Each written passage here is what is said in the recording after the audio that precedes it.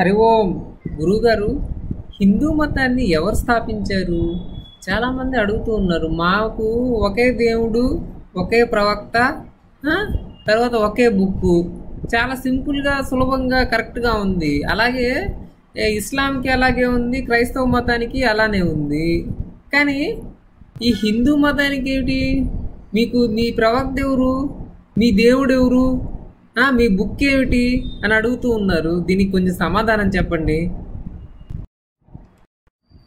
శిష్య ఈరోజు మాత్రం టాపిక్ అదిరిపోతుంది. సూపర్ ప్రశ్న వేసావు. దీనికి సమాధానం వింటే కళ్ళు తిరిగిపోతాయి ప్రేక్షకులందరికీ. ఎందుకంటే ఇప్పుడు వాళ్ళ ప్రకారం ఏ ఒక మతము అంటే మూడు లక్షణాలు ఉండాలి. ఒకే బుక్ ఉండాలి ఒకే ప్రవక్త ఉండాలి ఒక బుక్కు ఒక మనిషి ఒక దేవుడు. ఈ మూడు లక్షణాలు ఉండాలన్నమాట ఒక మతం అంటే. దీనికోసం వాళ్ళు మన మతంలో వెతుకుతూ ఉన్నారు కదా. ముందు వాళ్ళ మతాలకే ఈ మూడు లక్షణాలు ఉన్నాయా లేదా వెతుకుదాం. మొట్టమొదటి లక్ష్యం ఏ లక్షణం ఏమిటి? అన్నిటికంటే ముఖ్యమైనది దేవుడు ఒక్కడే అయి ఉండాలి ఆ మతంలో. ఆ ఒక్క దేవుడికే వాళ్ళు పూజిస్తూ ఉండాలి. ఇంక వేరే దేవుణ్ణి ఎవరిని దాన్ని పూజించకూడదు. ఆ ఒక్క దేవుడినే నమ్మాలి ఆ ఒక్క దేవుడికే మొక్కాలన్నమాట. ఇప్పుడు ఈ శాంతి మతం టోపీ మతం వాళ్ళు ఉన్నారే వీళ్ళ మతాన్ని పరిశీలిస్తే ముందు నేను ఒక్కడే దేవుడు అనుకున్నాను. లోపలికి వెళ్ళి చూస్తే చాలా విచిత్రమైన విషయాలు అనేకం ఉన్నాయి. మా దేవుడు ఒక్కడే ఆ ఒక్కడే దేవుడు ఆడ కుర్చీలో కూర్చొని ఉన్నాడు అని చెప్తారు. ఆ ఒక్క దేవుడినే కదా నమ్మాలి. మరి ఆ దేవుడికి చేసే ప్రార్థనలో ప్రవక్తను కూడా కలిపేసి ప్రవక్తని కూడా దేవుణ్ణి చేసేసారు అంటే ఇప్పటికే ఇద్దరు దేవుళ్ళు అయ్యారు ప్రవక్తని ప్రవక్త దేవుడికి చెప్పే ప్రార్థనలో ప్రవక్త అనేది ఉత్తమ మెసెంజరే కదా. ఆయన ఆయన ఎందుకు కలిపి ప్రార్థించడం? అంటే ఆయన్ని కలిపి ప్రార్థిస్తే ఆయన కూడా ఒక దేవుడి లెక్కే అనమాట వాళ్ళల్లో. సరేలే పోతే పోని ప్రవక్త అంటే యాడ్ చేసుకున్నారు ఓకే ఒప్పుకుందాం. ఇద్దరు దేవుళ్ళు అయ్యారు ఇప్పటికి. రోజు నమాజులని చెప్తూ కాబాలో ఉండే ఒక నల్ల రాయి వైపు తిరిగి మొక్కుతూ దండాలు పెడుతూ ఇంకో మూడో దేవుడిని యాడ్ చేసుకున్నారు. సరేలే ముగ్గురు దేవుళ్ళు సరే అనుకున్నాను. దీంతో పాటు వదిలిపెట్టకుండా ఎక్కడ సమాధి కనిపిస్తే అక్కడ దుప్పటి కప్పి ఆ సమాధులు కుళ్ళిన శవాలన్నిటికీ మొక్కడం ప్రారంభించారు. ఇంకెంతమంది దేవుళ్ళు లేరు? లెక్కలేనని దేవుళ్ళు అయ్యారు. హిందూ మతంలో ఒక వంద రెండు వందల మంది దేవుళ్ళు ఉన్నారు. వీళ్ళకి లెక్కలేని దేవుళ్ళు తయారయ్యారు. సరేలే పోని ఈ సమాధుల్ని కూడా వదిలేద్దామంటే మళ్ళీ ఎక్కడ వేప చెట్టు కనిపిస్తే ఆడ జెండాలు నాటుతా ఉన్నారు. అంటే వాళ్ళ వాళ్ళందరూ కూడా వీళ్ళకి దేవుళ్ళే కదా? చేదుగా ఉండే ఆకులు మరి చేదుగా ఉండే పళ్ళు ఇచ్చే వేప చెట్లన్నీ మనకైతే అవి దైవ స్వరూపాలు దేవుడి యొక్క విభూతులు అనమాట మనం ఏ చెట్టుకే నమస్కరిస్తామో ఆ చెట్టు చుట్టూ తిరుగుతాం వచ్చేస్తాం. వాళ్ళు ఆ చెట్టుకి జెండాలు కట్టి దర్గాలు కట్టి ఆడ దండాలు పెడతా ఉన్నారు. ఆడికెళ్ళి ఇంకా అదే దేవుడిలాగా ప్రార్థన చేస్తూ ఉన్నారు. ఇంక ఈ శవాల్ని ఈ చెట్లని సరే వీటిని కూడా వదిలేద్దాం అనుకుంటే దేవుడు పంపించే దేవదూతలంట. గాబ్రీలు అనే దేవదూతని కూడా నమ్మాలంట. ఇంకా ఏమన్నా అర్థం ఉందా? ఈ దేవదూత కూడా చేయడాడు మళ్ళీ దేవుళ్ళ స్వరూపంలో. అసలు దేవుణ్ణి చూసిన వాళ్ళు లేరు దేవుడి మాటలు విన్న వాళ్ళు లేరు.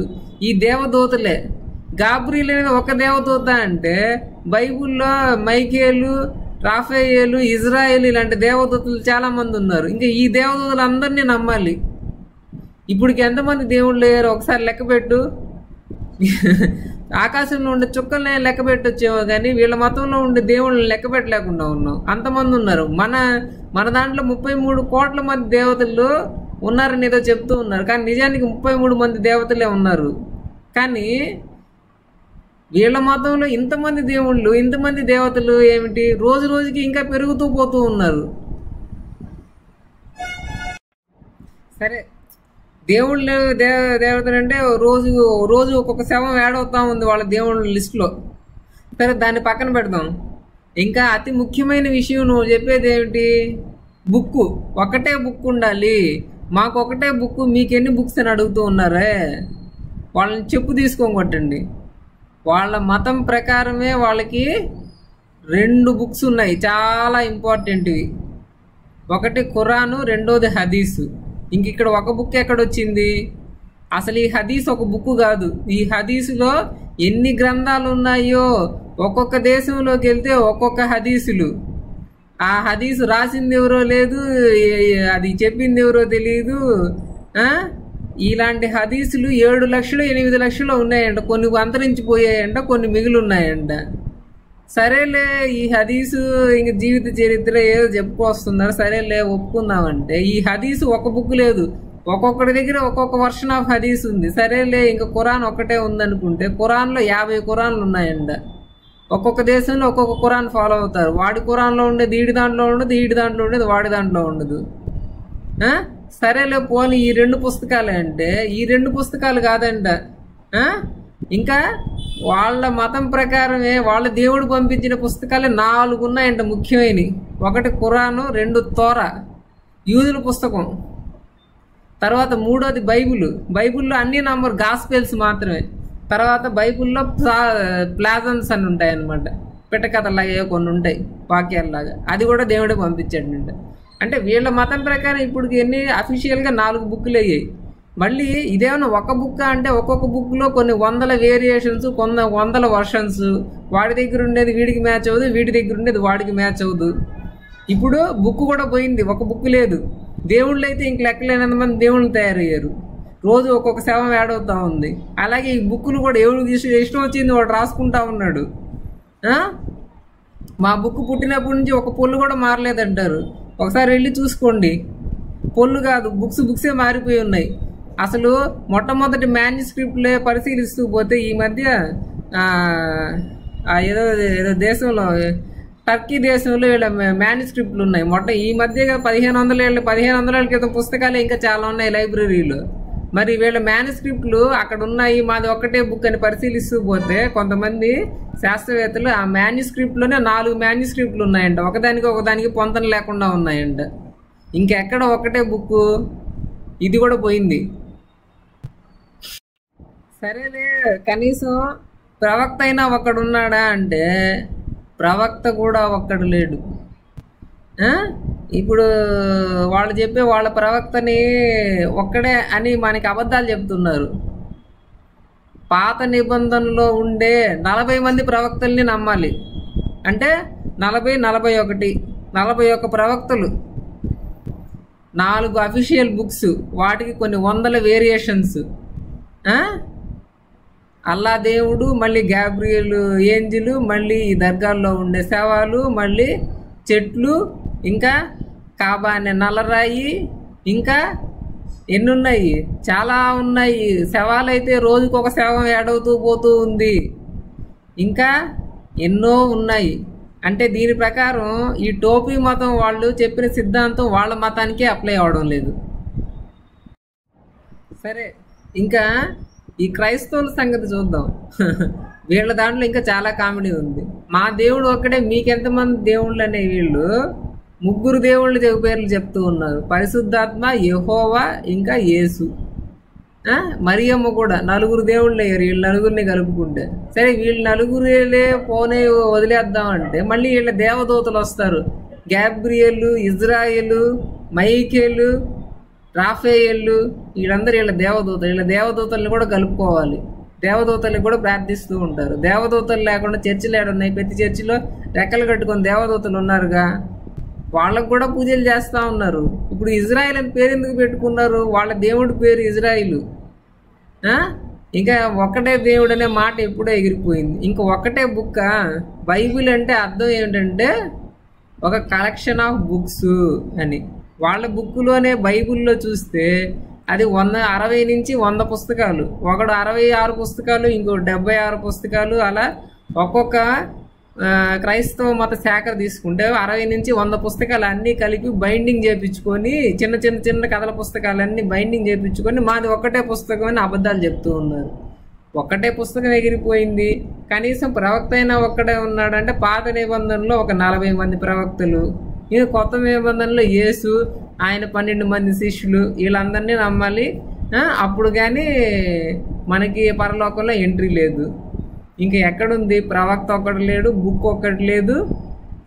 తర్వాత ఈ బైబిల్లో ఎన్నో వేరియేషన్స్ అందులో ఎంతో గందరగోళం. ఎగిరిపోయిందిగా. ఇంక ఇప్పుడు మన మతం గురించి చూద్దాం.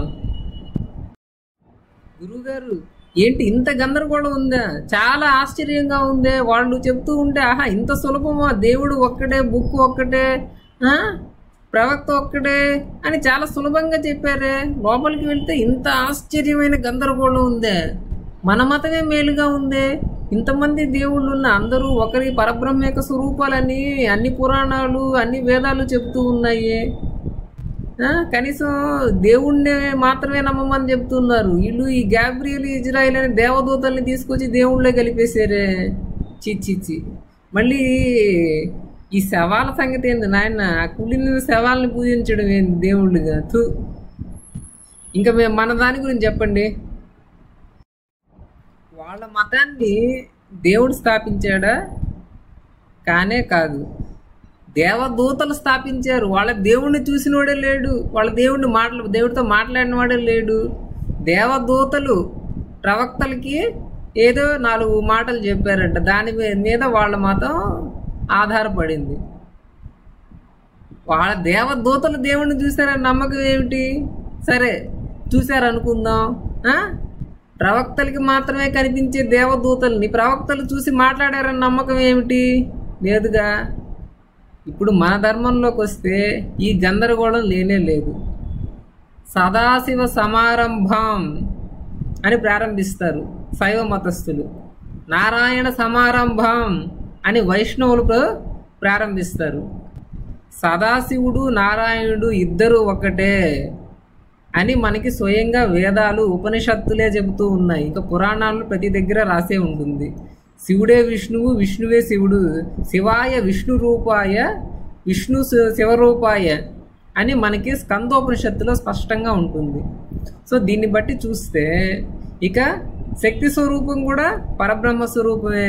వీళ్ళ శివుడు విష్ణువు వీళ్ళందరూ పేర్లు విభిన్నంగా ఉన్నప్పటికీ రూపాలు విభిన్నంగా ఉన్నప్పటికీ వీళ్ళందరూ కూడా సచ్చిదానంద స్వరూపమైన పరబ్రహ్మ స్వరూపమే అని మనకి స్పష్టంగా చెప్పబడింది.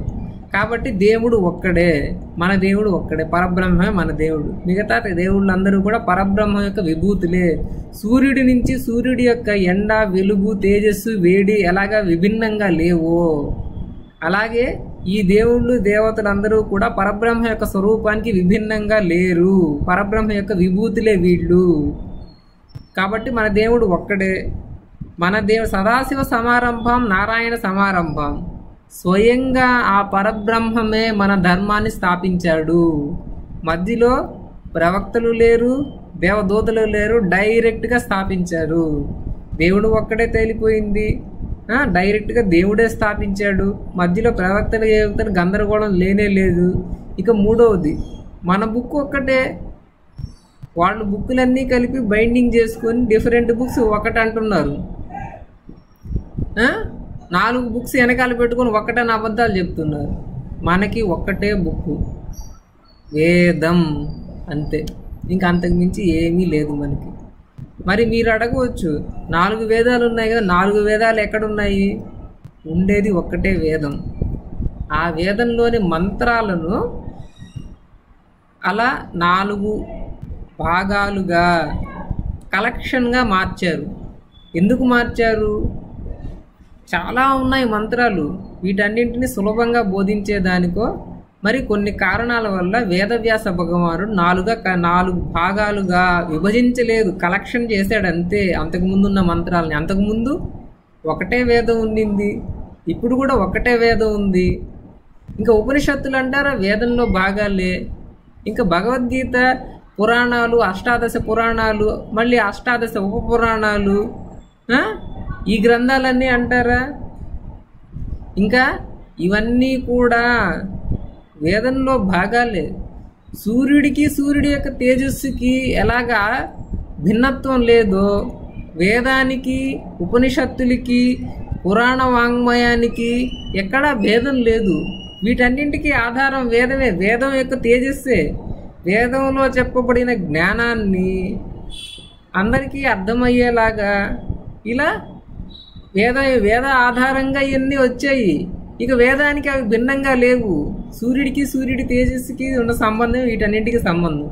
కాబట్టి మనకు ఒక్కటే బుక్ వేదం అంతే. ఇవన్నీ పేర్లు వేరే. ఒక్కడే దేవుడు పరబ్రహ్మం. అందరూ ఆయన స్వరూపాలే. సో ఇంక ప్రవక్తలు లేదు గందరగోళం లేదు. స్వయంగా సదాశివుడే ఆ నారాయణుడే మన ధర్మాన్ని స్థాపించాడు. ఇంకా ఇంతకు మించి చెప్పాల్సిన అవసరమే లేదు. ఇప్పుడు వాళ్ళని అడగండి ఇట్లాంటి క్లారిటీ వాళ్ళ దాంట్లో ఉందేమో. ఎక్కడా లేదు.